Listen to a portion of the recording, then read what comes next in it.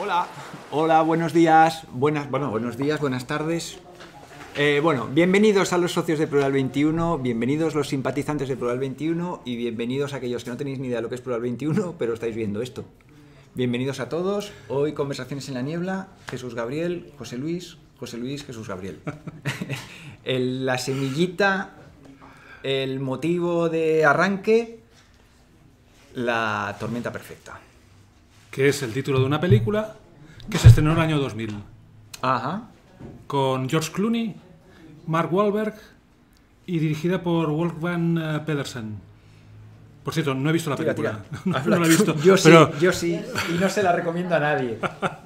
Yo soy de los que dicen que al cine se va a pasárselo bien. Y a mí ir al cine a salir a llorar. Ah, pues yo voy- ya lo chupé esto con las películas de Disney de pequeño. ¿Con la tormenta perfecta no lloraste? Al final era preciós, aquella imatge d'allà al mig de l'oceà. la veuré, la veuré. Faré per veure-la. Sí, sí. Bueno, Bueno, venga. El caso es que el título venía muy a cuento porque, por ejemplo, otro, otro eh, o sea, la tormenta perfecta nos remite, si no vemos la película, o sea, solamente escucharlo, a algo que desestabilice y nadie entienda. Algo que desestabilice a la sociedad y nadie entienda, como la doctrina del shock, por ejemplo, ¿no? Que es, en un momento dado, a un grupo de personas se les puede poner entre ceja y ceja promover un gran cambio social lleno de cosas, este gran cambio social lleno de cosas que se sabe que la gente va a rechazar. ¿Cómo hacer que la gente no rechace el paquete de medidas? Añadiendo una situación que afecte mucho, que impida pensar, que impida pensar, ah, de tal manera que la gente esté más preocupada por el miedo que tienen que no por lo que les causa el miedo realmente. Entonces, el otro día salió espontáneamente. Pero claro, cuando se nos ocurre un nombre para, para una, un- una conversación en la niebla de los lunes, lo que, pasa, lo que pasa alrededor es como una especie de vendaval en el que empiezan a, a suceder nueva información o reestructurar la información que uno tenía hasta ese momento, porque cada, cada noticia o cada hecho que ocurre obliga a reestructurar todo lo que uno pensaba que, que el, asunto, que el asunto era.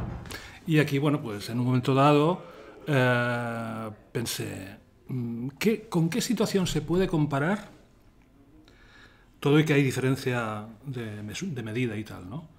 Eh, que tenga que ver con la situación actual. Y entonces fui a parar a la época, hace unos 100 años, cuando el señor Rockefeller, que tenía que era el monopolista del petróleo, fundador de la Standard Oil y miembro de una familia que ya venía y siguen.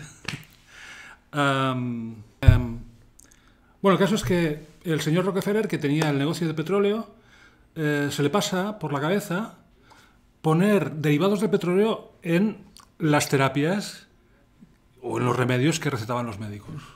Es decir, que la medicina, la medicina del siglo XIX era más parecida a una medicina naturista que lo que es hoy. Entonces, la medicina química que genera tantos efectos eh, secundarios y tanta iatrogenia, ah, ¿de dónde viene? Pues viene de esta, de esta asociación entre el negocio del petróleo y los derivados y las- la creación de la medicina de síntesis, que es la que, la, que encontramos eh, mayoritariamente en las farmacias.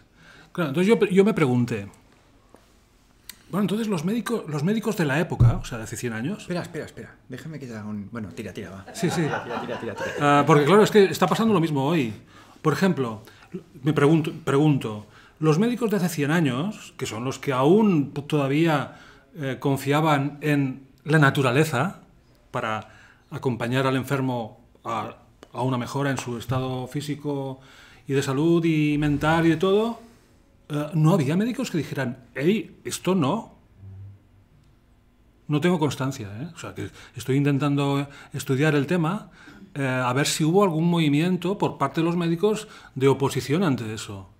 Porque si no lo hubo, ¿qué tipo de aliciente se les dio a los médicos para convencerles de, que, de que, o a las farmacéuticas, para que mm, envicia- eh, eh, ensuciasen o contaminasen eh, Esto me lo explicó en una, en una charla que tuve, que no está colgada, lamentablemente, porque tenemos miedo de colgarla, con Enric Costa, Ajá, sí.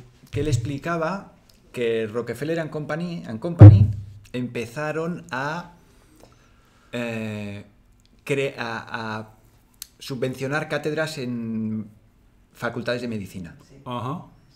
Y que entonces, de mica en mica, de poco a poco, poco a poco, poco a poco, poco a poco, fueron metiendo el discurso de la teoría del contagio. Porque los médicos hasta 1950 la teoría del contagio pues era una teoría más. Y que fue en este, en- en- entre 1940 y 1900... No, a finales, o sea, ¿qué pasa? Los médicos no creían en la teoría del contagio y no veían del todo claro el esto de dar antibióticos ni analgésicos.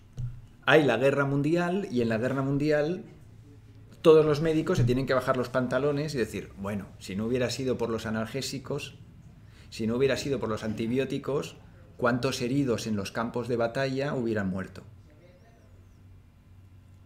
Y cuánto dolor gracias a la morfina, gracias a la heroína, gracias a todos los analgésicos. A la aloe vera también, ¿eh? A la aloe vera. también, ¿eh? Bueno, sí, pero claro, resulta que como ahí hicieron el desembarco de los la industria farmacéutica se puso las botas en la Segunda Guerra Mundial vendiendo analgésicos y analgésicos Antibióticos. y antibióticos. Y ahí ya les abrieron las puertas de par en par en las universidades y ahí ya empezó a perderse de vista la teoría de... Empezó a meterse la teoría del contagio a cambio de desplazar la teoría del medio. Alfonso, Jorge Guerra lo explica con todos los datos del mundo en su podcast, que tiene tres, que habla solamente de lo que hizo Rockefeller, con quién, dónde, las personas, en qué universidades y la presión que ejerció para conseguirlo. Os recomiendo que lo escuchéis porque es impecable. Los datos que... Yo, si todo va bien, la semana que viene volveré a colgar en YouTube la entrevista con, Con Enrique Costa. con Enrique Costa. Porque nos quitan un penalti y en esa entrevista la quité por respeto, por, uy, uy, uy, como nos metan otro penalti, nos crujen. Yo creo que la entrevista no habla mal de la OMS, no habla mal de las mascarillas, entonces yo creo que es, pos- que es loable volverla a colgar. Sí, es curioso el tema de, de- Espera, espera, déjame, que antes te iba a colgar, a cortar. a colgar. No, no hace falta volver al siglo pasado. Yo cuando yo era pequeño y mi madre me llevaba al médico, yo salía del médico con vitaminas. Con, vitam- con hierro, con calcio y con B12. Y yo recuerdo que mi madre me llevaba al médico y yo, yo volvía con vitaminas a casa. El hígado de bacalao. Hígado de bacalao, el epavister, eh, la vitamina C, los tubos aquellos grandotes de redoxón. Y, la- y el hierro para la... Y ya está. Y mi hermano igual. Ibas al médico y te volvías a casa con vitaminas. Mis hijos los he llevado al médico y han vuelto a casa con espasmolíticos, con antipiréticos, con... ¡Bu! Y esto Sí, sí. desde hace cuatro días. Perdona, ya está. Eh, vale. Bueno, entonces volvemos. Espera, que no se ve. Como no enseñé Jesús antes. Gabriel tenía este, vis- No, no, este no, libro aquí. aquí, aquí, sí, sí. Iatrogenia. Espera, míratelo aquí. Sí, sí. Vale. La bestia. Avisados estáis. Entonces, eh, yendo, yendo hacia, hacia el, el tiempo que, en el que estamos, eh, que yo el otro día comenté que a mí lo que me hace pensar que realmente detrás de todo este tema de la, de la neogripe, para no neogripe, eh, es el tema de, mm, de una cosa que ya se venía diciendo desde la década de los 2000 en relación a la, posible extinción, o sea, el posible agotamiento de los combustibles fósiles y por tanto de todo, de todo, de todo el sistema industrial en el que, en el que vivimos. Es decir,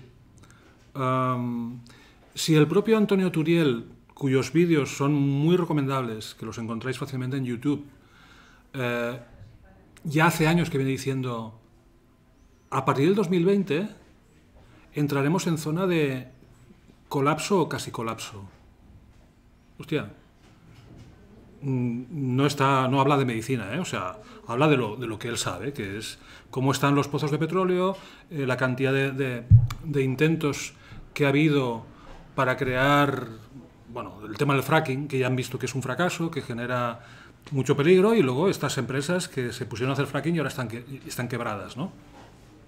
Entonces, si el petróleo eh, es el 90% de todo lo que hacemos a nivel economía, y este petróleo le quedan los años contados, ¿qué tipo de cosa debería ocurrir para llevar a un cambio en la mentalidad? En las mentalidades o en la dirección de la sociedad.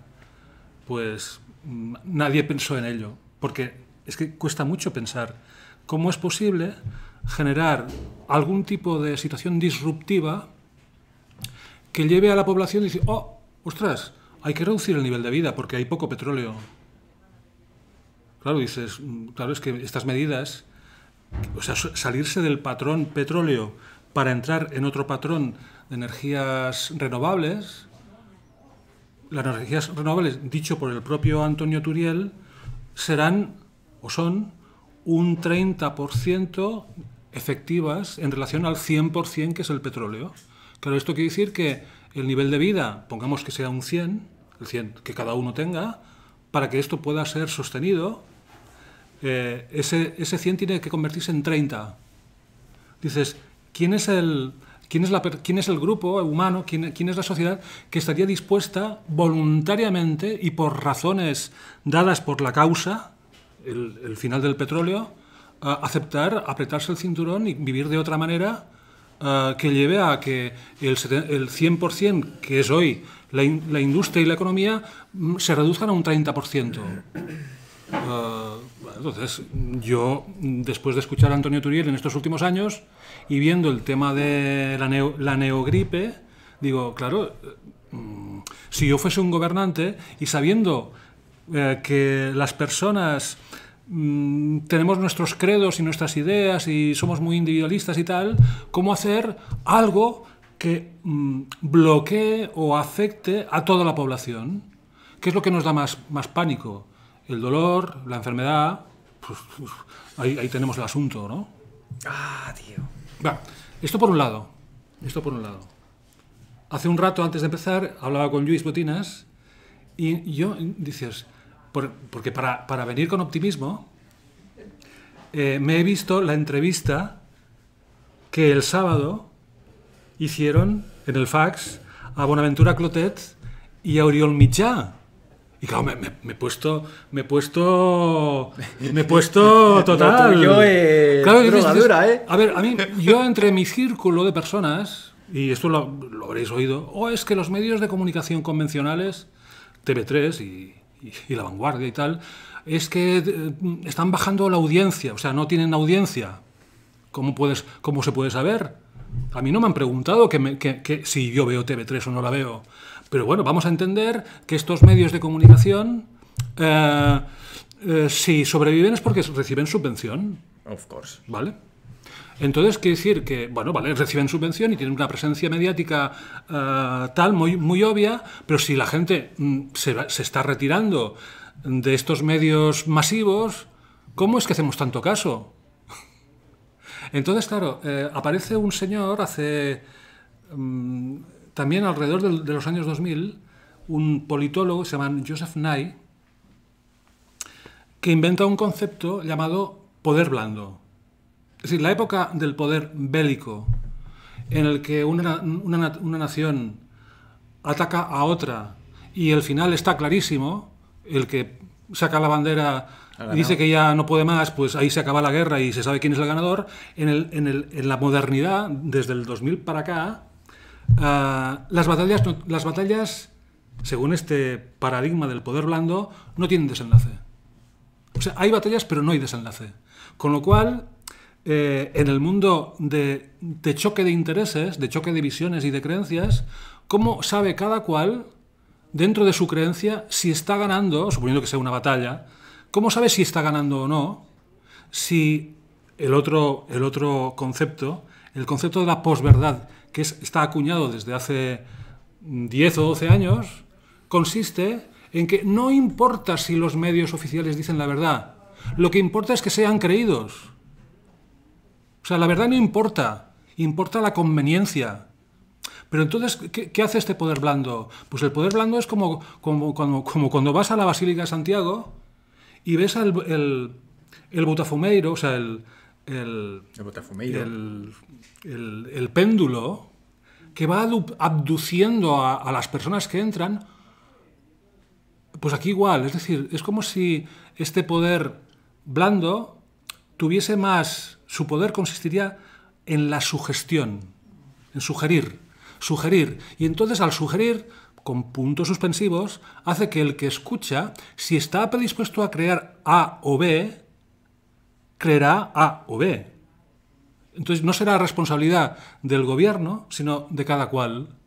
Pero claro, si el gobierno, mejor dicho, si los poderes fácticos, mediante el péndulo hipnotizador, van generando tal cantidad de abducción, eh, claro, obviamente está, está muy claro que el pensamiento, el, el poder blando lo que, lo que intenta es que el pensamiento crítico esté en su burbuja y el pensamiento creído porque conviene creerlo está en otra burbuja. Eh, ¿Estarán alguna vez en, en- colisión? No. Es decir, eh, a ver, yo no soy especialmente activista social, me interesa la sociedad, pero no soy activista. O sea, yo para montar una revolución no sé, no sé lo que hay que hacer. Eh, pero yo creo que la historia es la- las personas que son eh, contrarias al 5G y que están en los grupos de aquí y de allá, del Telegram o del BK Contact y demás, eh, como creen que son muchos, piensan que son mayoría y como piensan que son mayoría, creen que ganarán la batalla y que lograrán imp- impedir el 5G. Entonces el sistema está contento porque cree, porque hace creer que los disidentes están ganando, cuando en realidad nadie sabe quién está ganando en realidad.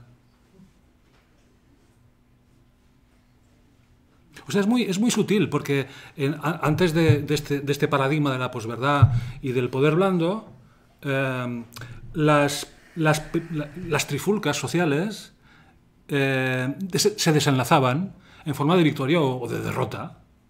No, ahora no. Nos parece que el gobierno está ganando, pero no sabemos si está ganando. Nos parece que estamos ganando nosotros, los que militen en anti-5G o anti-vacunas o anti lo que sea. No, no hay manera de saberlo. ¿No crees que haya nadie por encima de todo que realmente lo sea?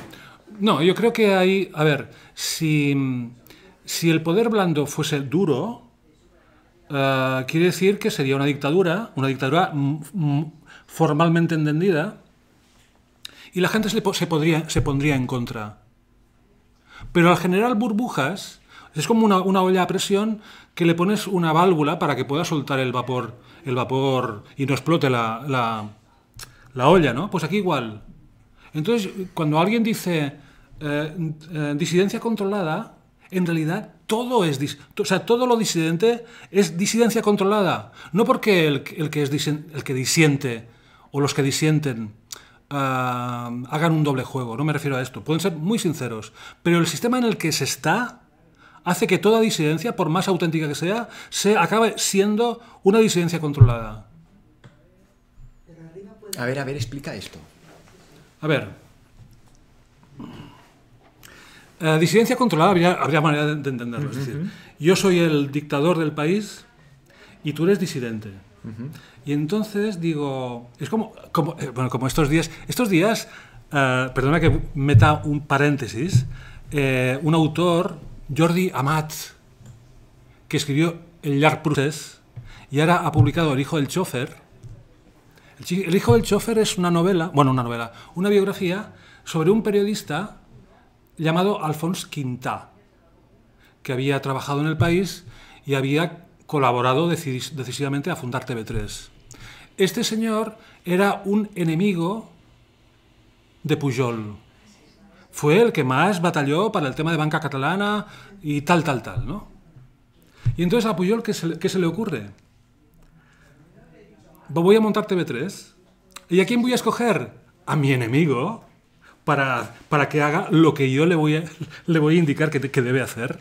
O sea, es, o sea, es tan genial.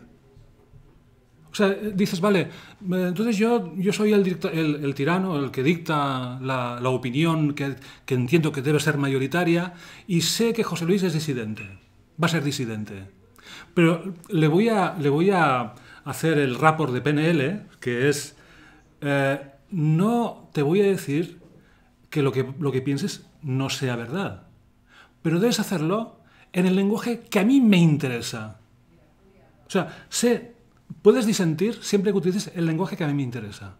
Y entonces, para que a mí me interese lo que vas a decir, vamos a, coger, a coger lo bueno o los buenos aquí y los malos allá.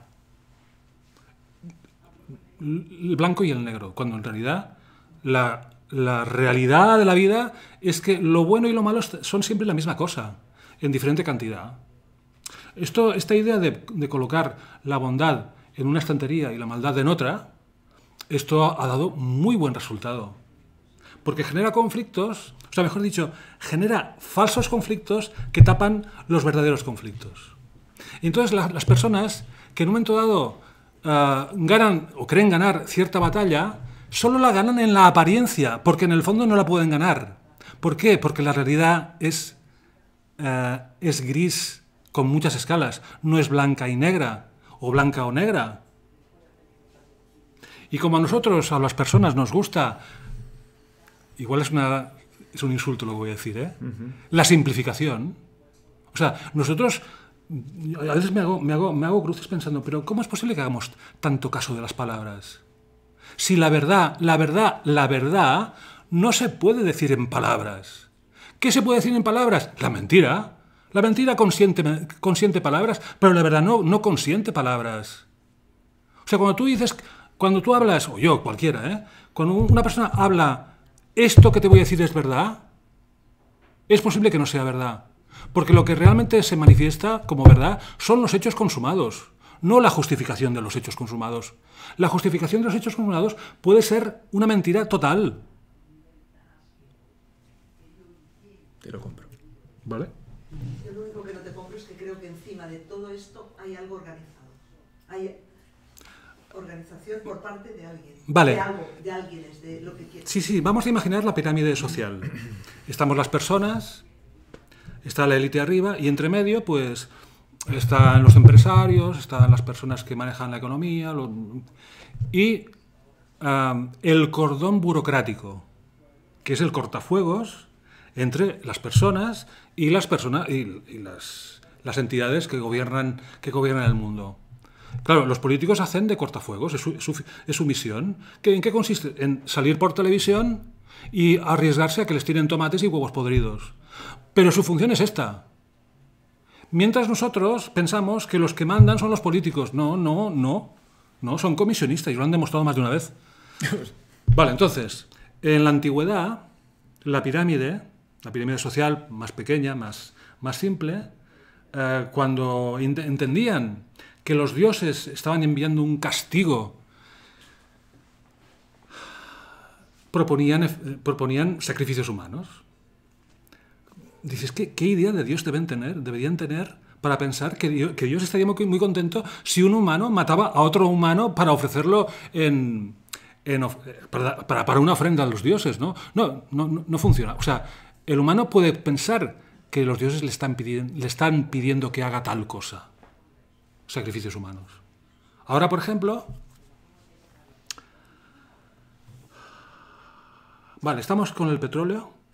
Es que, están, unidos, ¿no? Y la élite, la élite las grandes corporaciones, eh, si yo empalmo lo del Antonio Turiel y el tema del petróleo y el, peak oil y tal, tal, tal, dirá, eh, ostras, si no hacemos una reconversión del planeta Tierra, o sea, mejor dicho, del humano en el planeta Tierra, eh, los dioses nos enviarán el colapso sin haberlo decidido nosotros. Entonces, ¿qué hace el humano? O mejor, este, esta élite. Bueno, pues como vamos hacia el colapso, vamos a crearlo nosotros. ¿Por qué? Porque si creamos el colapso, lo manejamos. Pero Claro, es que es de cajón. Es como decir, imagínate una, una persona que siente que se va a poner enferma. Siente porque le duele aquí, lo que sea, ¿no? antes de que sea peor, empieza a tomar medidas. Estas medidas puedan funcionar mejor o peor. Pero si sabes que va a ocurrir algo y no haces nada, y ni piensas qué, vas a hacer cuando la cosa ocurra, cuando la cosa ocurra, eh, vas a entrar en colapso y no vas a poder ni pensar ni, actuar de forma ordenada.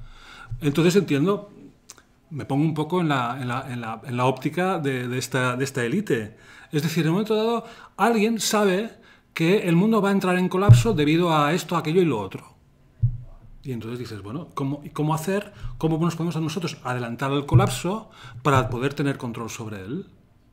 ¿Qué es lo que hace cambiar? ¿Qué es lo que en, en el mundo actual eh, hará cambiar más a las personas, o sea, mejor dicho, coaccionarlas, no cambiar, sino coaccionar si las ideologías ya no, no funcionan, si la gente no, no cuando se suprimió el, el, servicio militar, nadie protestó diciendo que yo quería ir, bueno, el que, quería ir se hacía soldado profesional, ¿no?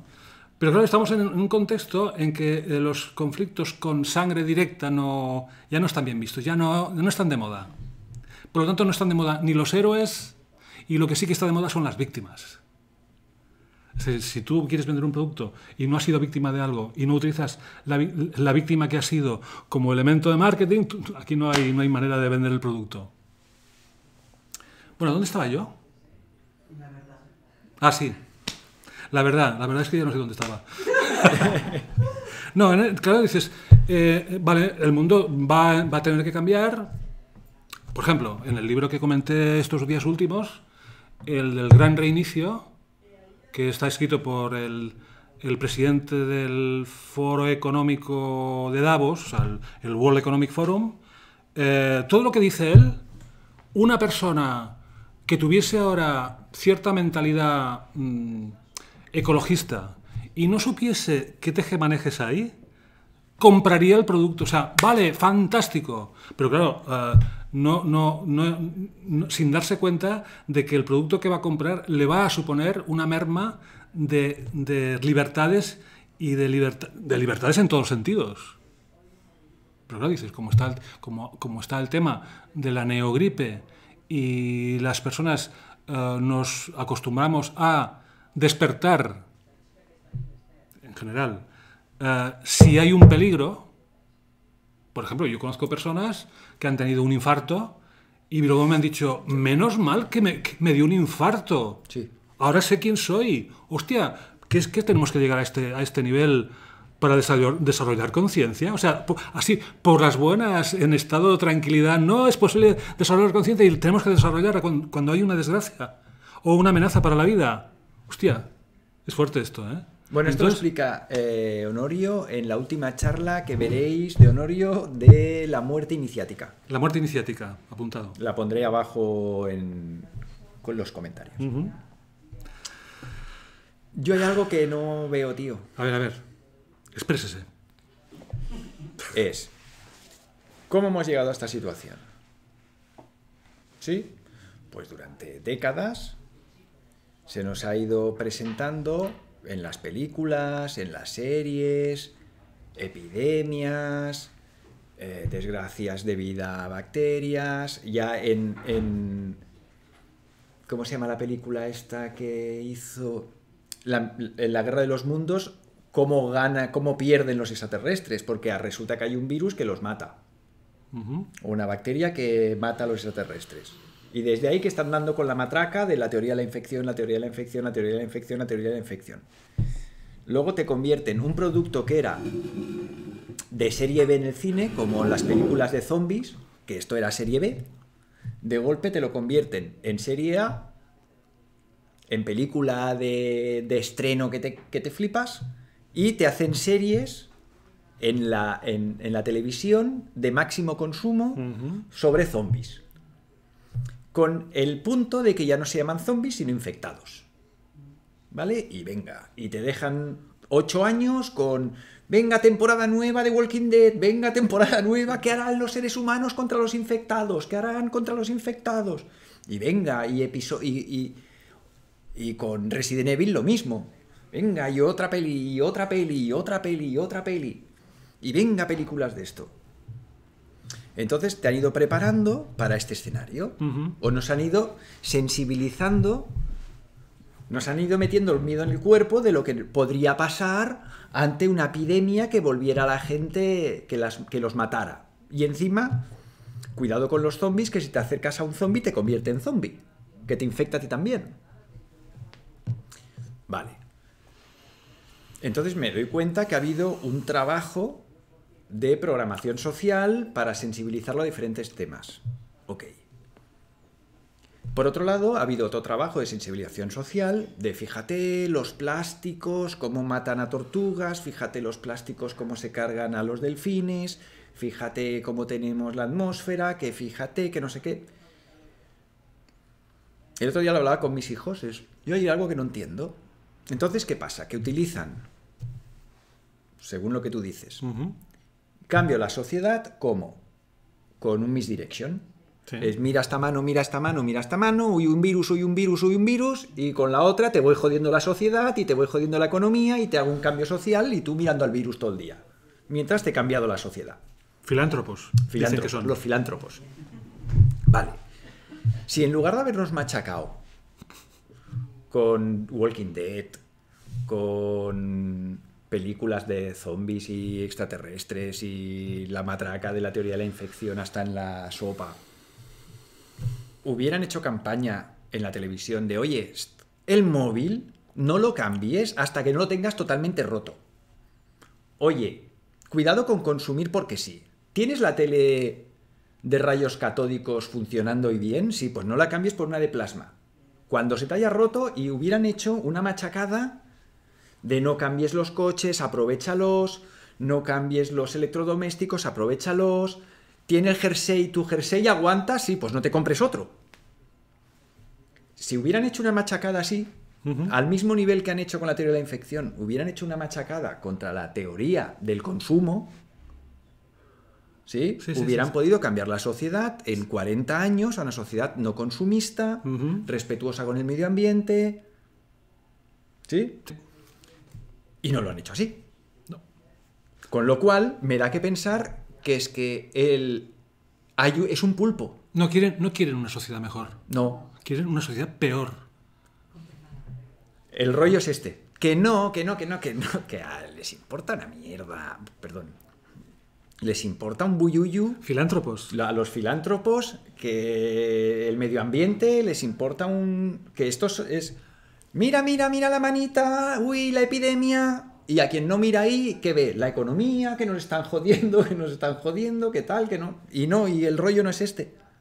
Son dos manos de misdirection. Al final hay una tercera mano que opera por abajo Eh, exacto. que es otro motivo. Sí, sí. Que no es ni el medio ambiente. El medio ambiente es la opción B para que tú te creas que va por ahí. Pero no va por ahí. Porque si no lo habrían hecho por ahí. Con lo cual, y cuando piensas es, ok, vale, acepto. No es un tema de salud. La, la salud es la excusa para eh, el cambio social. No, pero el cambio social lo podrían haber conseguido si hubieran invertido lo mismo que han invertido en generar este estado de opinión, Sí, esto sí, lo habrían cambiado. O sea que tampoco es esto. Yo creo que el paquete tiene muchas más cosas. Y- O sea, el paquete que nos han puesto delante, eh, lo que se ve es el tema de la salud y la pandemia y tal. Pero dentro hay muchas más cosas. Entonces me viene a la cabeza la película Octopussy de, James Bond, sí, sí, sí, donde sí. el malo maloso, El malo maloso. su emblema es un pulpo que tiene ocho brazos. Sí. Y que luego te vas a la serie que te comentaba, es que a mi hijo le han regalado dos meses de Disney Plus. No se llama Disney Plus, se llama Disney Plus. Y con mi hijo vimos Mandalorian y con mi hija estamos viendo Shield. Os recomiendo a todos los que estáis aquí el, el final de la cuarta temporada y el principio de la quinta. Fliparéis. Alucinante. Ah, sí. ¿Tú la has visto? La cuarta y no flipaste con la cuarta. Y la quinta, la sexta. Bueno, no he llegado. Estoy a la mitad de la quinta y estoy que digo, madre de Dios. ¿Y el malo qué es? Un pulpo.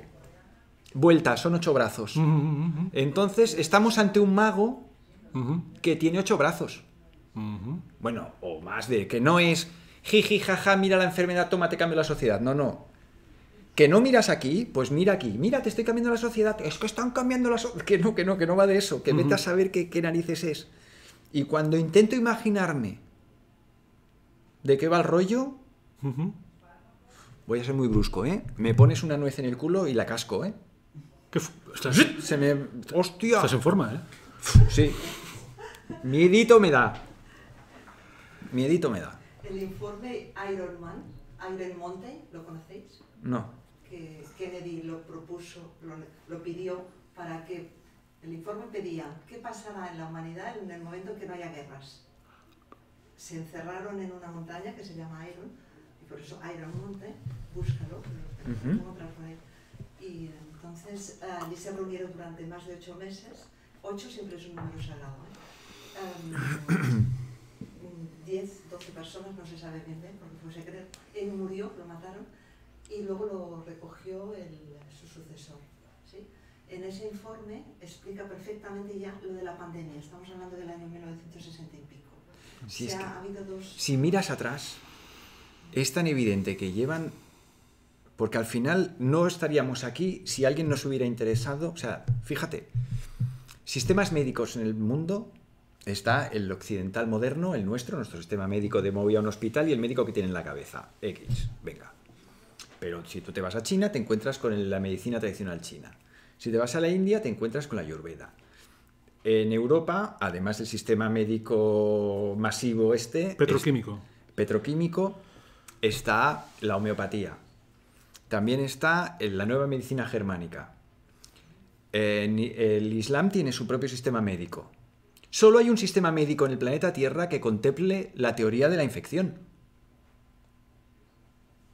¿Vale? Lo que está pasando desde un sistema desde un sistema de visión de la salud de un homeópata no se explicaría como se está explicando.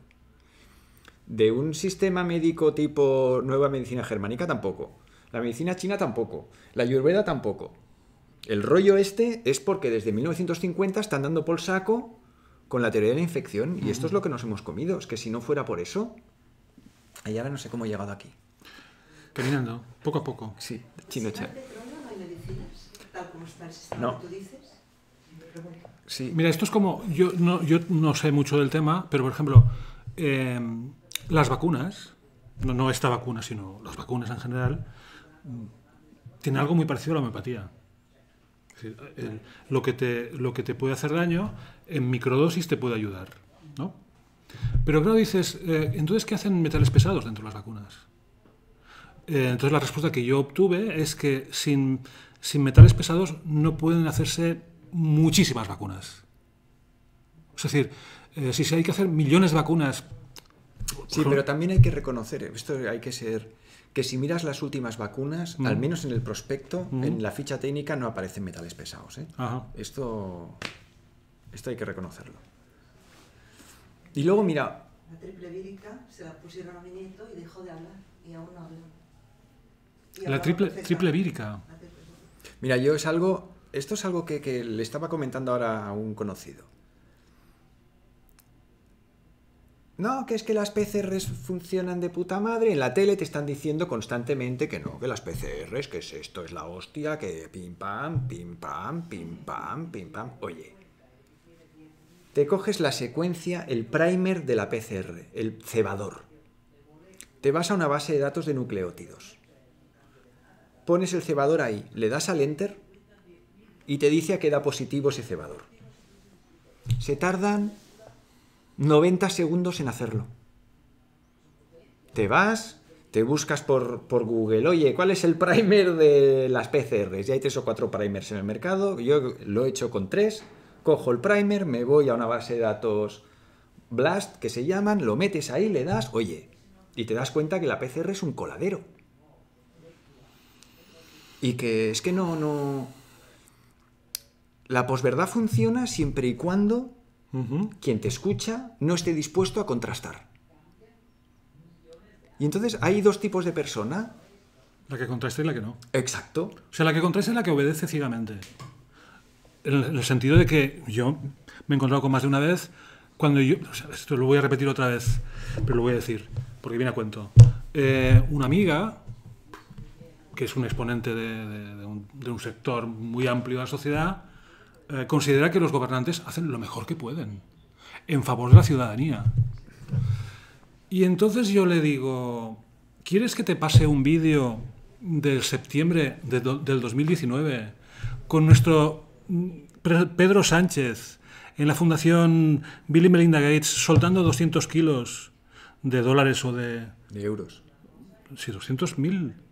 200 millones de euros, ¿no? Eh, Al Sí, final, bueno, una, una- sí, dices, ¿cómo, una, cómo un presidente del gobierno de una, de una nación cuyo Estado está endeudado y tiene que cobrar más impuestos para ir rapiñando, ah, puede hacer esto y darlo a una, de las fundaci- a una fundación que- en la que están la, la gente más rica del mundo? ¿Qué broma es esta? Y se lo pase y dice, no, no, quiero, no quiero verlo. Prefiero seguir pensando como pensaba. Tela marinera. No, y luego hay otra, otra, otra cosa que he empezado a detectar, que esto es- me tiene fascinado, de gente que decía, oye, que es que yo me he mirado artículos, artículos de aislamiento del virus y tal, oye, y que hace aguas esto, ¿eh? Que no... No, hombre, pero si están todos detrás y todo el mundo te dice, eso es que es así. Vale, ok, cada uno que haga lo que quiera. Somos animales de costumbres. Entonces, Sí. cuando una costumbre está muy. Pero cuidado, ahora de golpe pues- empiezan a salir de. Oye, es que yo creo que por la tele nos están vendiendo gato por liebre. Que la vacuna. No sé yo, ¿eh? Que ha salido el, el- el presidente de la comunidad autónoma de Extremadura. Sí. Que el tipo, además de presidente de la, de la comunidad autónoma, encima es forense. Y el tipo sale diciendo: Oye, que yo me he mirado los documentos de la vacuna y que a mí me parece que la vacuna, no sé, no sé, ¿eh? O al día siguiente en la prensa, pa, pa, pa, pa. El presidente de Extremadura se postula como el cabecilla de los negacionistas españoles. Pa, pa, pa. Y al otro día ya estaba, Buenos bueno, que es que me equivoqué, fui yo ahí. Pero sí que me he encontrado mucha gente que sospecha de que la información que se está dando de la vacuna no es del todo correcta. Digo, vale. ¿Tú aceptas que la información que se te está dando por los medios de comunicación de la vacuna no es del todo correcta? Sí.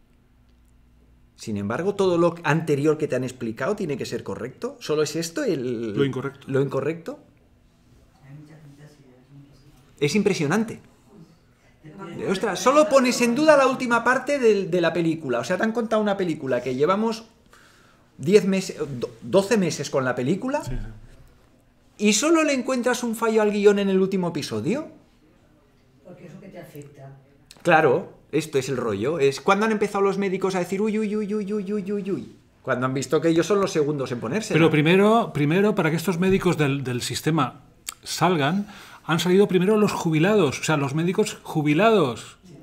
Es decir, si el médico hace seis meses estaba dentro del sistema y era disidente, no podía decir nada. O me podía decir algo, pero se arriesgaba que lo- se lo sacasen de encima. Entonces, ¿quién, ¿quién tenía la libertad? Pues el médico jubilado como los militares. Claro. El- los, los médicos y médicas jubilados que ya no, no tienen carrera para que conservar, porque todo lo que, lo que han hecho en su vida profesional ya está hecho, entonces estos sí que pueden. Y entonces ahí han salido otros. El doctor Laporte hace cosa de un mes o así, no sé si en el fax o en un informativo de TV3, al final le preguntan, ¿usted se pondría la vacuna? Y dices, "Mm, Yo espero Sí. a ver los resultados. A ver los resultados. En, en- en los, en lo que se- en los en los claro, que se que esto es muy heavy. Que es. ¿Qué han hecho? La última parte de los ensayos clínicos se lo han saltado. O sea, los fármacos tienen diferentes fases de ensayo clínico y luego se, se sacan al mercado y luego tienen farmacovigilancia durante toda la vida. Hay un proceso que la gente no sabe que existe, que es una vez está el fármaco en el mercado, hay farmacovigilancia, que es que se va controlando el mercado. Y cada año en España al menos caen del mercado una docena de productos farmacéuticos que habían sido aceptados y que Eh, pasaron... Que habían sido aceptados en España. Sí. O en Europa.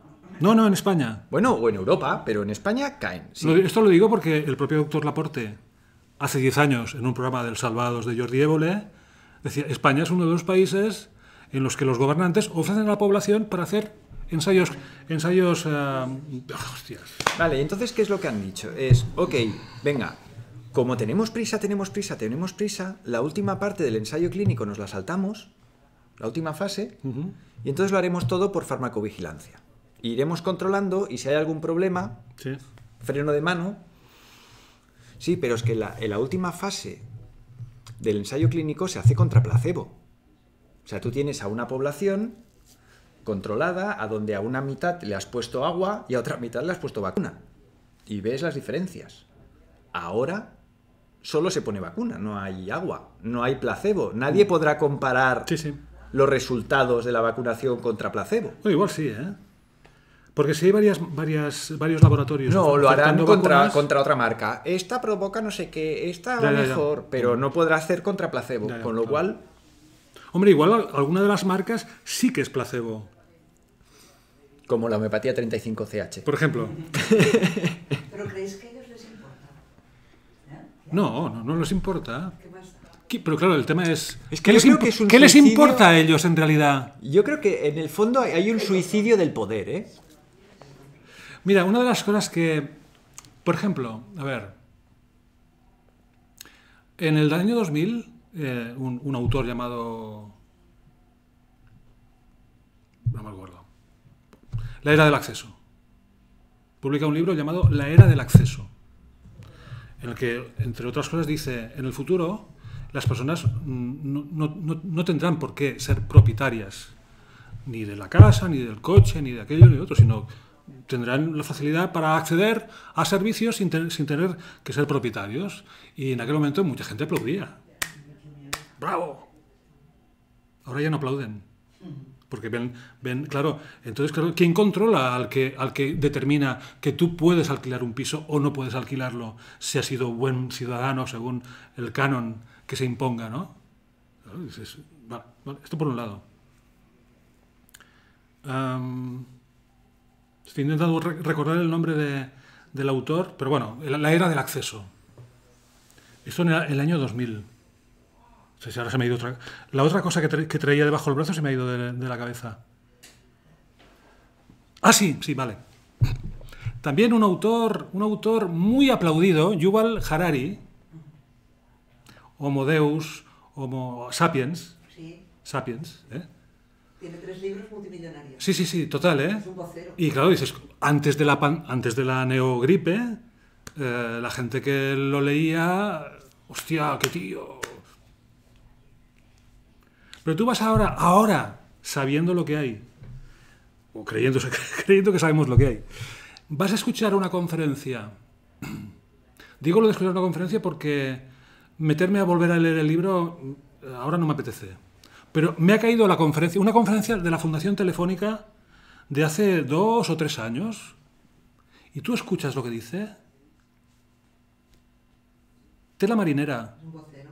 Es decir, yo considero que la tecnología, la exotecnología, es decir, aquí tenemos el teléfono móvil o la tablet o el ordenador y está no está no está Metido hibridado con nosotros. O sea, no, no tiene un cable aquí eh, con el, con el- de momento. Al móvil le falta poco. Eh, ya, ¿eh? Entonces, claro, dices, este nivel de la relación del humano con la tecnología entendida físicamente, separada del cuerpo, o sea, esta es la, mi tablet, pero yo- no, está, no, no es mi brazo. Esto se está acabando. Porque lo que va a venir es que esta tablet estará incorporada. O sea, que uno formará parte de la tecnología. Entonces yo digo, se me ocurre pensar, es posible que esta historia de la neogripe y la pan pandemia, La neogripe. eh, sí, eh, sea, dirás, es el- a ver, o sea, si no- para el, el humano del futuro, o como se le quiera llamar, el posthumano del futuro, a- a- para evitar que tenga que su cuerpo rechace la intromisión tecnológica en su, en su cuerpo, bien que tendrá que ser vacunado. Es decir, metalizar, metalizar el cuerpo.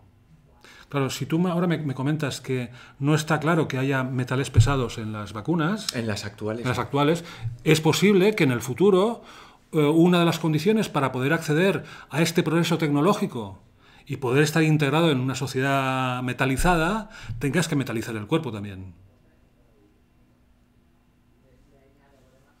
Bueno, pero tú escuchas al, al, al, al Noval Harari, Yuval Harari, en esta conferencia y la gente aplaude, ¿eh? Pero porque todavía estamos en el año 2017-2018. O sea, no hemos llegado a, a la situación actual. Y yo me pregunto, de la gente que ha aplaudido en aquel momento, ¿seguirían aplaudiendo hoy? ¿Puedes pasarme el link de esta charla? Sí, sí, sí, sí. Pues sí. la pondré. Tiene solo tres libros, son muy rápidos de leer. Jeremy Pero Rifkin. unos tochos así, ¿eh? Jeremy Rifkin. Sí. Es el de la era del acceso. Es un, un homosexual declarado judío. y- y- pero que Bueno. no quiero decir que es muy raro que una persona con su perfil personal haya llegado a ser multimillonario con tres libros solo. Pero igual lle- llega allí, o sea, puede ser multimillonario por los libros y por lo que cobra por cada conferencia y las clases que pueda dar y, y seguramente puede, puede- es posible, esto ya sería un mal pensar por mi parte, que es que hay pensadores que se postulan para pensar en nombre de la élite. Y entonces, Por si queréis que yo escriba de esto, mm, mm, Eso le llamamos vocero. pues claro. Mira. Entonces, ¿qué podéis sugerir para salir de esta tormenta? Pregunta Aguaita 2. Ujú. En la charla, en la conferencia que nos dio Honorio Jimeno sobre la metafísica de, de las Navidades. Yo, sabiendo que la charla de hoy, eh, punto de partida era la, la tormenta perfecta, me vino a la cabeza un, un momento de la charla de Honorio donde él explica una- un trocito de la Biblia, un pasaje bíblico, que es que Jesús se va de pesca con unos apóstoles o con gente del pueblo, no sé, se mete en un barquito. Sí, a con unos amigos. Con unos colegas. Y claro, Jesús no pesca. Él es de la, casta de los sacerdotes. Este no, no. Que pesquen por mí. Y el tipo se mete en los camarotes y se queda ahí frito en los camarotes. Y los, los demás están fuera, pues pescando. Y empieza el agua, eh, viene una tormenta, y empieza el agua, pum, pum, pum, y la tormenta empieza a empeorar, empieza a empeorar. No, no te preocupes, que esto no pasa nada. Oye, empieza a empeorar, empieza a empeorar hasta que al final dicen, mierda, vaya tangana tenemos aquí, este barco se hunde. Oye, vete a buscar al maestro a ver que salga, que este como tiene poderes. Y van a buscar a Jesús al camarote y le dicen, oye, puedes salir que tenemos una tangana afuera que esto se hunde. Y va Jesús, sale y dice, y el mar se tranquiliza. Esto lo podéis ver en la charla de Honorio. Y Jesús les dice, hey, ¿por qué, no me, ¿por qué me habéis venido a buscar? Si yo estoy dentro de vosotros. ¿Sí? ¿A dónde voy con esto de cómo salir de la tormenta? Es que, ¿qué tormenta? ¿Dónde está la tormenta? Si no pones la tele, si no tuviéramos tele en casa y no tuviéramos internet en casa, ¿tormenta? ¿Qué tormenta? O tormenta de las mascarillas. Sí, tú saldrías y verías a la gente con mascarilla y dirías, oye, ¿qué pasa? No, que por la tele, no, no, yo de esto no tengo. No, pero que dicen que te la... No sé, cuando venga un policía y me diga que me la ponga, ya me la pondré. ¿A ti cuántas veces te ha venido un policía y te ha dicho, oiga, póngase la mascarilla? A mí me, me vinieron dos veces. Ah, vale, vale. Me la puse. Pero, oye, que al final en la tormenta la vemos porque queremos verla. A mí de momento, La gente que se está quedando sin trabajo. sí. Sí, sí, sí, sí, sí, sí. Pero hay gran parte de la tormenta que está aquí dentro. Que realmente es ahora que se empieza a ver otra segunda tormenta que está por debajo. Pero la tormenta gorda. Pero fíjate que esto que estás diciendo me viene un poco a- al caso de... eh, Bueno, espera, perdona. Entonces, Aguaita, vida interior, el viaje interior, ¿vale? Vale, ya está, ya está, ya está. ah, Tira, tira. que el- como, la- como esta neogripe tiene, puede tener tantos síntomas, claro, lo que hace es que el punto débil que tú ya tienes lo pone, lo pone en evidencia. Sí, el que tiene problemas en los huesos y no es demasiado fuerte, esta, esta cosa, esta neogripe, pondrá en evidencia que tu punto débil son los huesos. Eh, el que tiene punto débil en los pulmones y no lo sabe, esta, esta neogripe pondrá en evidencia que tu punto débil son los pulmones. El que tiene problemas cardíacos, el que tiene potencialmente problemas cardíacos, esta situación pondrá en evidencia que su punto débil es el corazón. Pero la causa no es la tormenta, no es el bicho, es el terreno. Sí, pero claro, afectas. O sea, una persona puede estar muy estresada eh, y verá que siempre el tipo de el órgano que queda más afectado es el que ya ha sido afectado mm, eh, en otras situaciones estresantes. Con lo cual, la causa del estrés, aquella cosa externa que provoca el estrés, como la causa, eso no, no, no, es un detonante. La causa está dentro, está en el terreno, o sea, en la persona, ¿no? Bueno, volvamos a, la feria del pan y circo. Eh, si, si a alguien se le ocurre ah, ver el programa del sábado del fax que he comentado antes con el doctor Clutet y el investigador eh, super, super meritorio eh, Uriol Michá, la cantidad de contradicciones. O sea, es decir, que si hay que hacer algo, que si esto es para, para, para, mucho tiempo.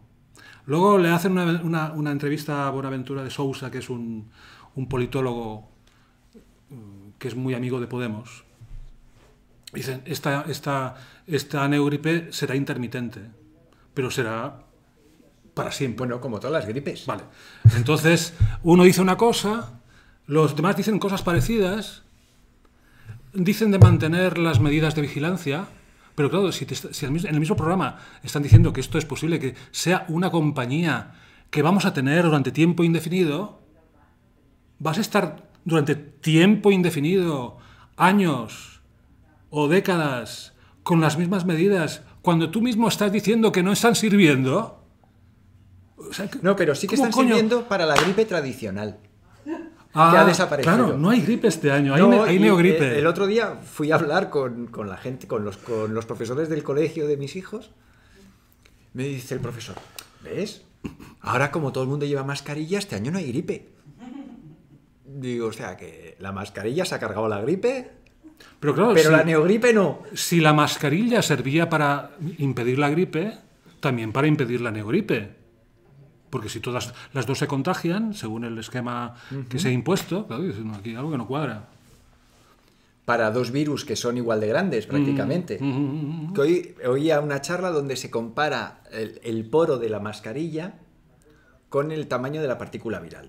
Dice, para que tú te hagas una idea, tú imagínate que la mascarilla fuera, estuviera hecha de tela de portería de fútbol. Y el virus fuera una mosca. Y se supone que tú con la mascarilla tienes que evitar que la mosca te entre.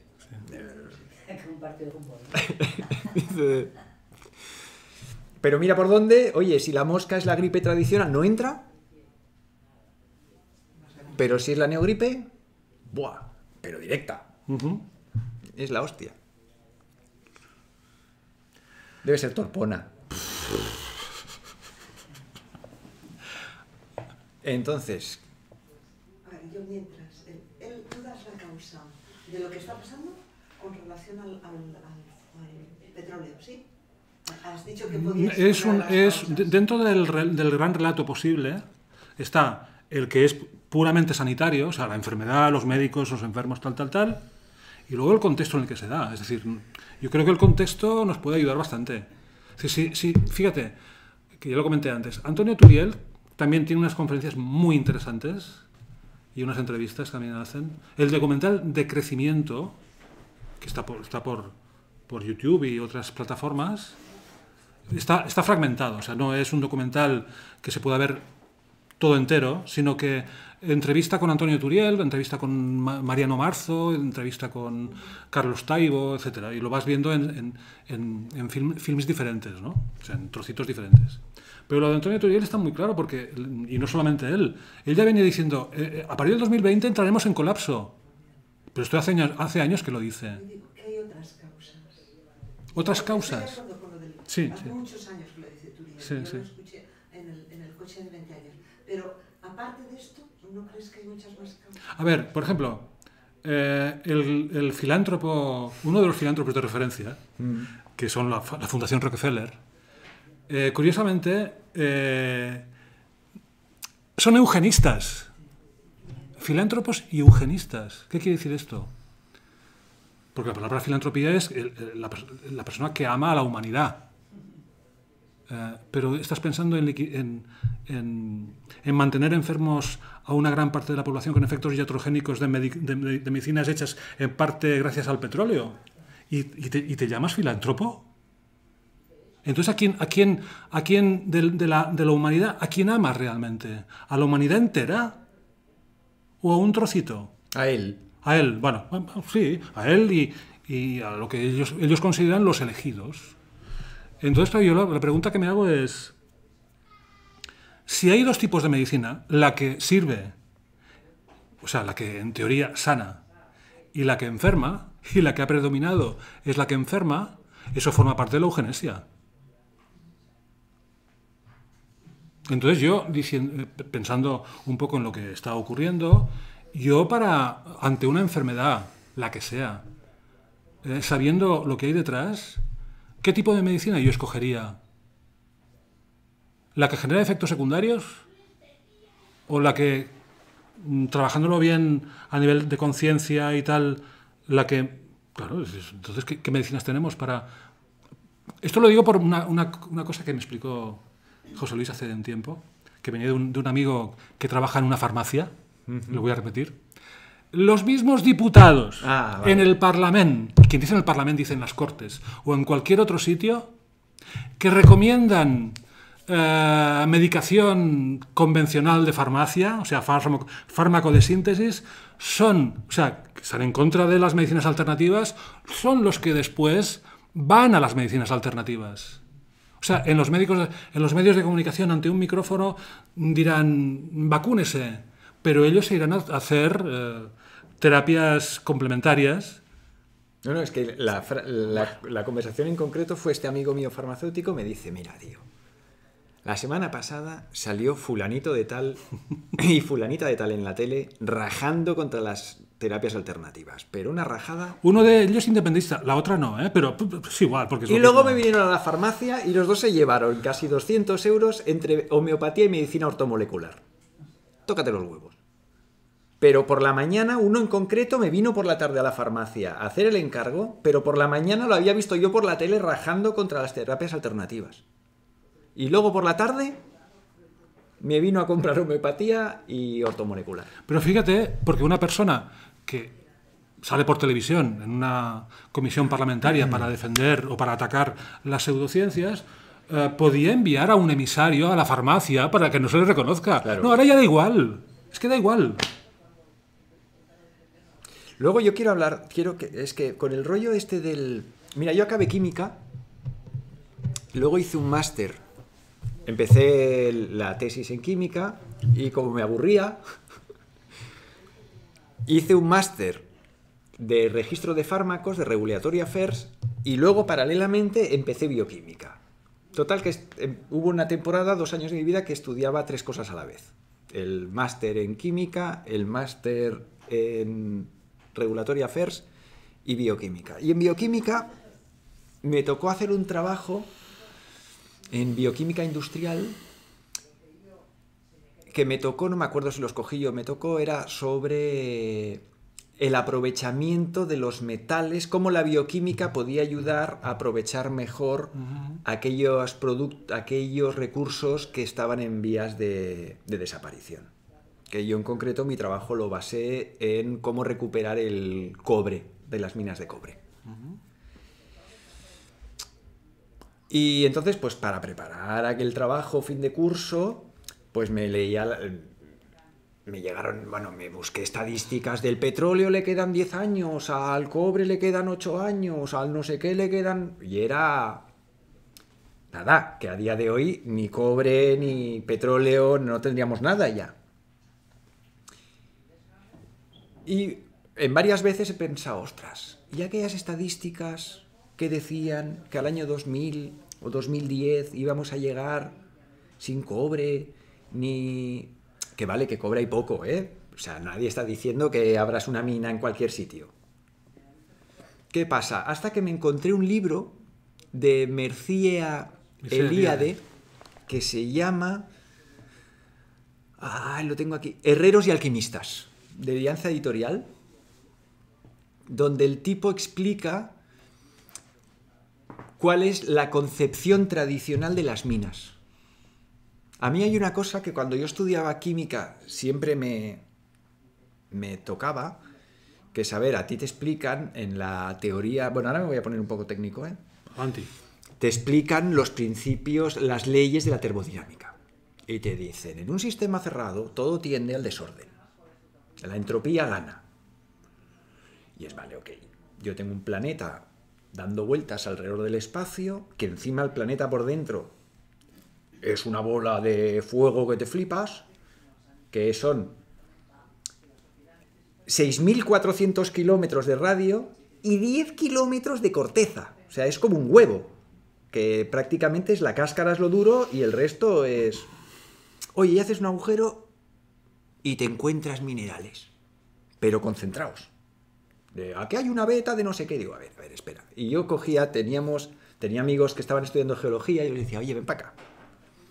¿Me puedes explicar cómo explica la geología que después de miles de años de la Tierra creada existan vetas de minerales en algún sitio?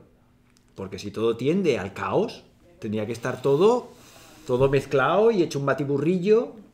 ¿Cómo te explicas que hayan vetas de metales a día de hoy después de miles de años, de millones de años de la Tierra creada? No, no sé qué, no sé cuánto. Hasta que me encontré con el libro este de eh, Mircea Eliade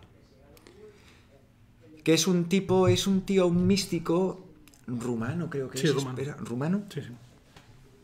Y me llegó este libro y el tipo explicaba la concepción tradicional de las minas. Y la tradición, no el hombre moderno actual, antes de que llegara el hombre moderno, que esto tiene 400 años o menos, decían, no, la madre tierra da a luz. Y el, y el ¿qué pare la madre tierra? Pues minerales. Y entonces el hombre, cuando se explotaba una mina en la Edad Media o minas eh, fuera de un lugar moderno, según eh, Eliade,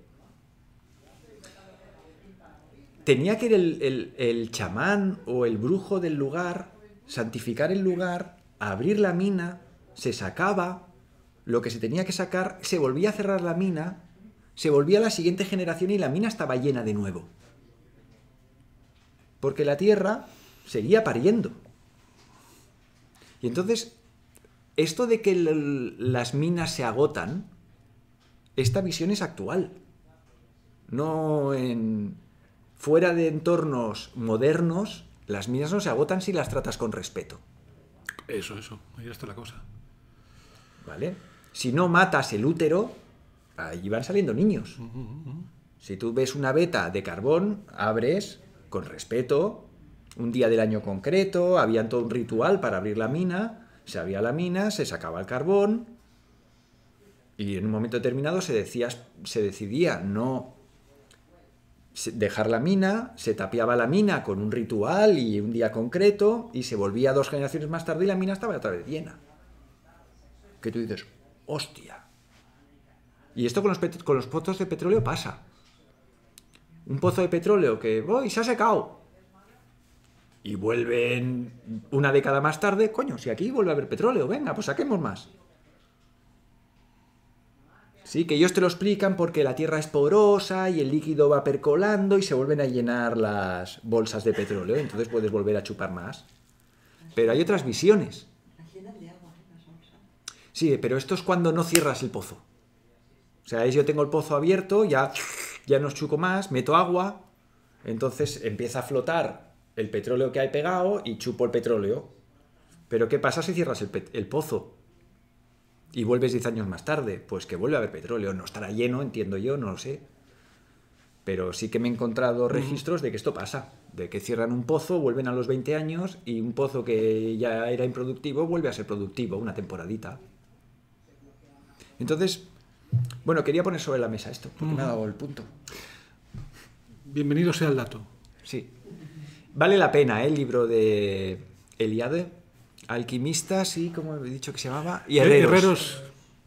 Herreros y alquimistas. Creo que fue en este libro que encontré una explicación al cante hondo que decía que los gitanos en origen eran los que eh, forjaban los metales en la península. Y que el cante hondo es para que el herrero, es el- el- un cante que el herrero hacía mientras, para marcarse el ritmo de... Ay, ay, na, pum. Y que era el cante para conectar con el ritmo de percusión respecto del metal. Bueno, es igual. Que, que, que era el libro que se lo lea. Eh, luego la otra cosa que, que- que quería añadir, bueno, que quiero añadir porque hace un momento no pensaba en ello. ¿eh? Ya pasa esto. Yo lo de... Hay, hay un documental en un canal de YouTube que se llama DW, que es una, una- una productora alemana que hace muy buenos documentales. Otra cosa es si uno está de acuerdo con la ideología que, que hay detrás, ¿no? Pero hay uno sobre mm, tormentas solares y lo plantean de la siguiente manera. La vida es la vida, la vida en el- del sistema solar es porque el, Sol tiene, tiene, tiene picos y bajadas y subidas de, de energía, de las manchas solares, las tormentas solares y tal. Dirás, bueno, eso no puede ser un enemigo de, de la humanidad. Pero cuando el señor Elon Musk lanza todos sus satélites enmallando todo el planeta Tierra, entonces las tormentas solares son enemigas de la tecnología humana. ¡Hala! Claro, no había pensado. O sea, que estos satélites en teoría se pueden freír de un día para otro. Claro, claro. Entonces, se les ha ocurrido, no sé si a Elon Musk o a Bill Gates, o al gordo y al flaco, yo no me acuerdo, ah, crear otra capa superior por encima de estos satélites para evitar, para evitar que los rayos del sol afecten a la tecnología. Pero claro, no lo van a decir de esta manera. Lo vamos a hacer para evitar el cambio climático. O sea, yo, yo creo que estamos en un, en un nivel en el que, a grosso modo, hemos, pasado por tres grandes etapas. La etapa divinista, o sea, el humano consideraba que los dioses, la montaña, los ríos. Luego se hizo monoteísta y lo atribuyó a una, una única, una única, eh, entidad de poder. Luego vino la ciencia, la- o sea, a partir de la ilustración, y el humano se coloca al mismo nivel que Dios. El humano dice, quiero saber cómo Dios ha hecho esto.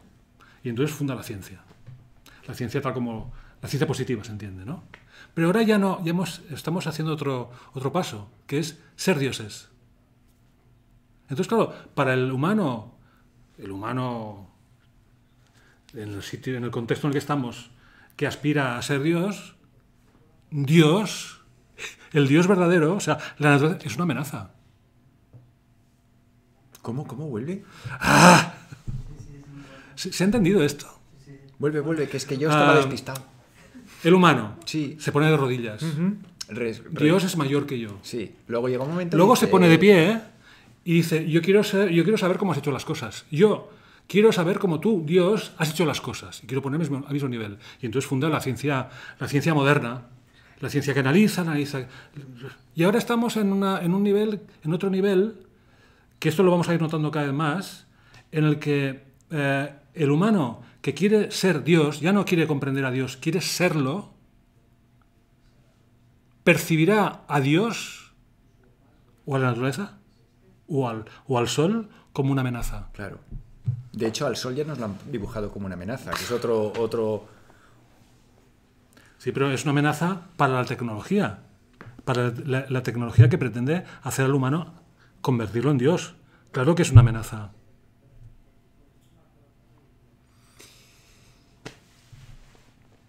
Sí, pero el- hay una frase que me impactó mucho cuando la leí y que no sé si la he entendido, que es que el ser humano moderno confunde el símbolo con lo simbolizado. Literaliza. Literalización. se Entonces, el sol sigue siendo un símbolo. Entonces, hay mucha más miga, mucha más mala hostia detrás de hacerte pensar que el sol es malo. O sea, ahora la gente cuando no, no. sale a tomar el Sí, sol sí, sí. sale con protección Sí, sí, sí. 800 de. Que yo cuando era pequeño, yo cada verano la semana de no me toques, no me toques que voy quemado, esto era normal. Empezaron por la tele, que ya verás los cánceres, que ya verás los cánceres, que ya verás los cánceres, que ya verás los cánceres de piel, que no sé qué, que no sé cuántos, que tomar el sol es muy... Y ya empezaron a meternos miedo que el sol era malo.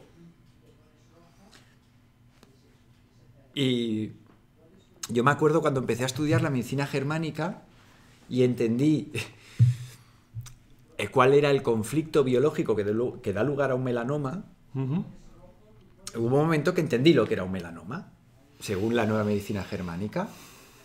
Y luego un día veo un documental que dicen que en donde hay más melanomas en el mundo es en Australia, que allí la gente, claro, como tiene el agujero de ozono encima, pues que ahí los fríen los ultravioletas y melanoma a todo el mundo.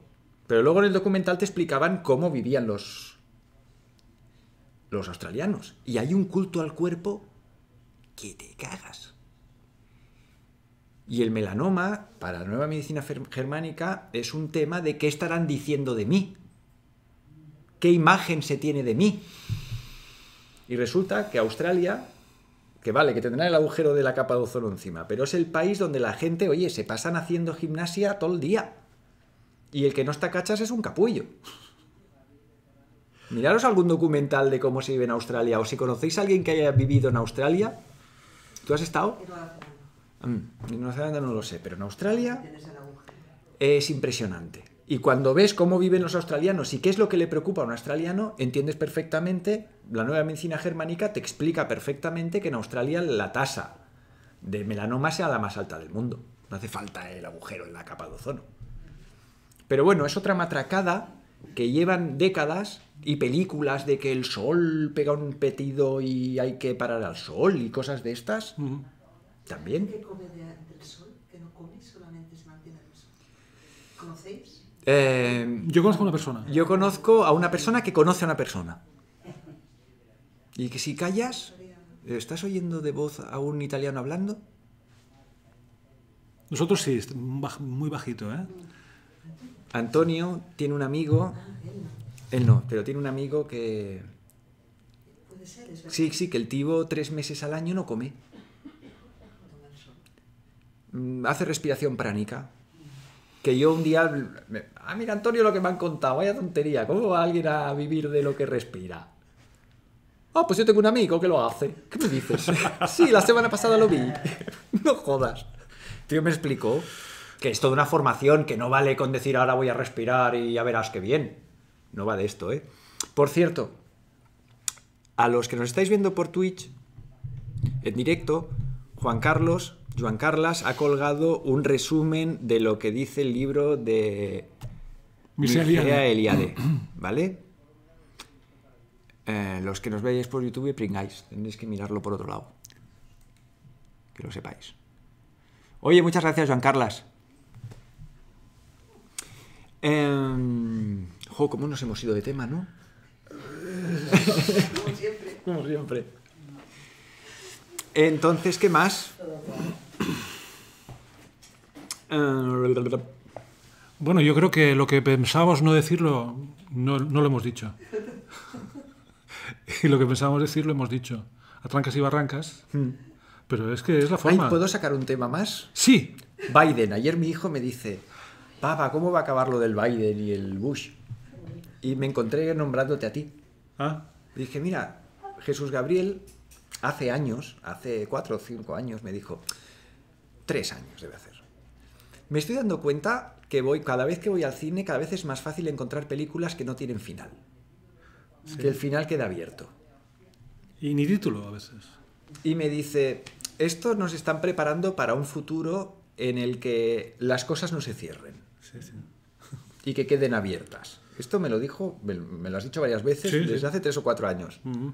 Y ayer se lo dije a, a mi hijo, digo, tío, yo no sé si lo del Biden va a acabar, porque esto se puede quedar abierto sin edie y hacer dos estados, vete a saber, porque lo de la neogripe, esto tiene una pinta de que no va a acabar en la vida hasta que...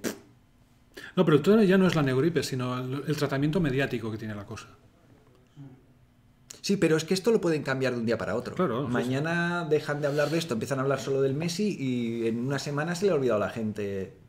No, no, no, no. No, no. No, yo creo que Bueno, la, no, pero que si lo quieren hacer, la tormenta perfecta... en 15 días nadie ni Dios se acuerda de... Cierto, pero yo creo que viene para quedarse como sistema de control. Sí, sí, la, la gran excusa, es la gran excusa. Lo que pasa es que estamos enfocando a lo que vendrá, dónde nos guían, cómo nos guían, qué pasará, ¿no? Estamos pendientes de lo que nos viene de fuera. Claro, y entonces hay que descubrir que no hay tormenta.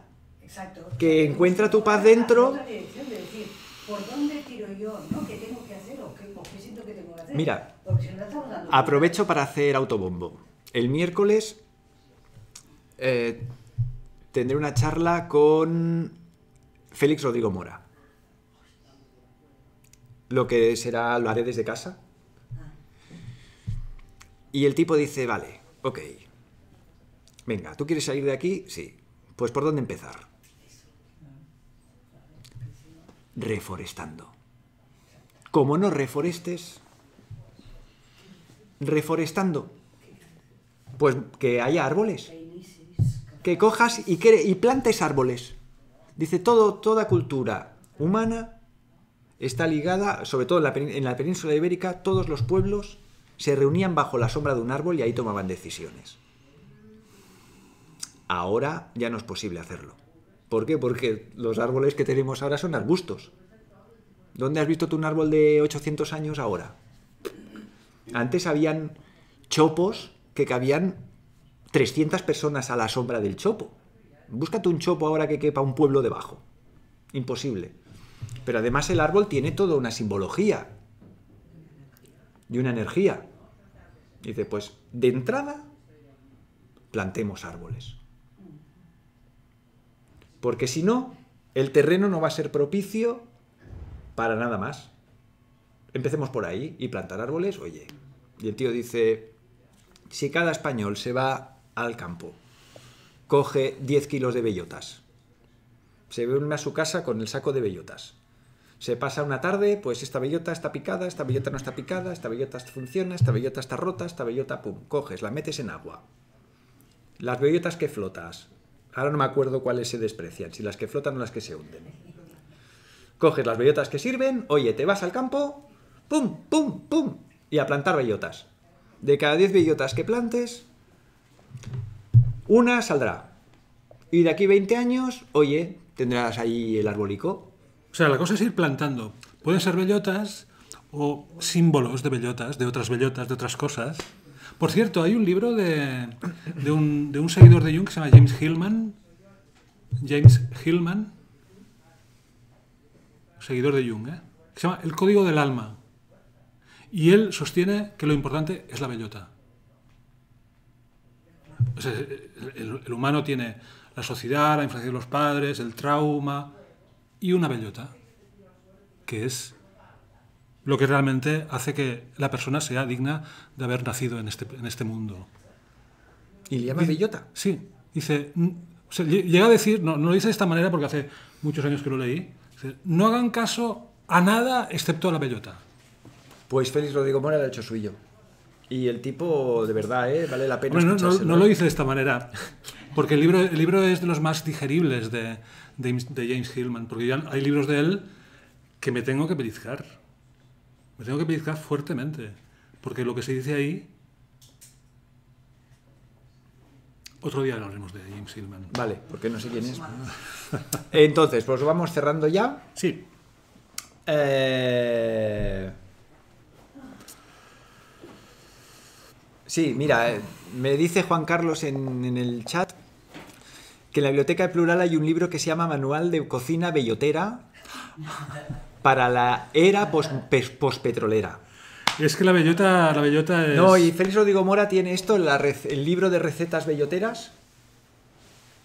Y él es de la opinión, ha hecho sus estudios para, para sostenerla, que en, en- en la península ibérica la gente ha comido bellotas que hasta que, que en la península ibérica el humano ha comido bellotas y se ha dedicado a la recolección hasta hace cuatro telediarios. Que lo de la...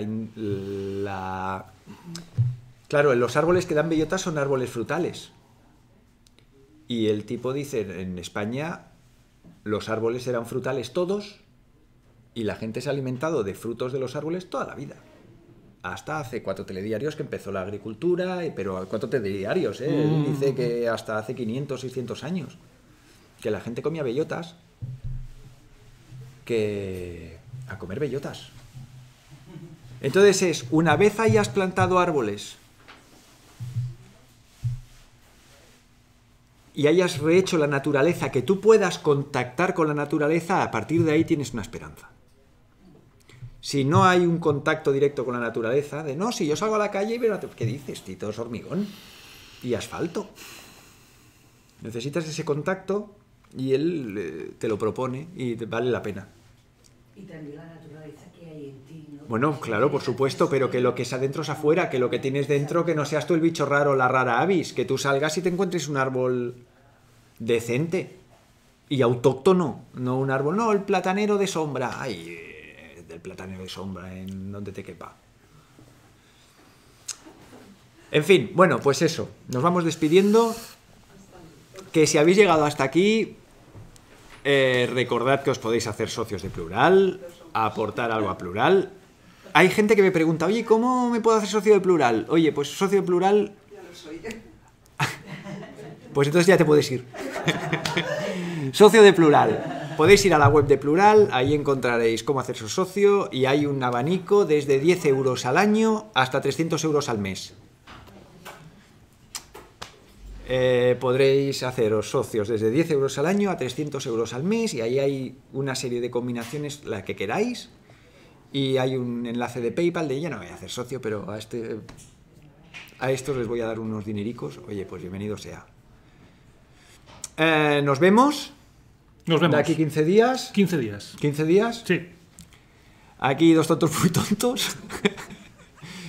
tenemos preparado una cosa. Tenemos, estamos preparando.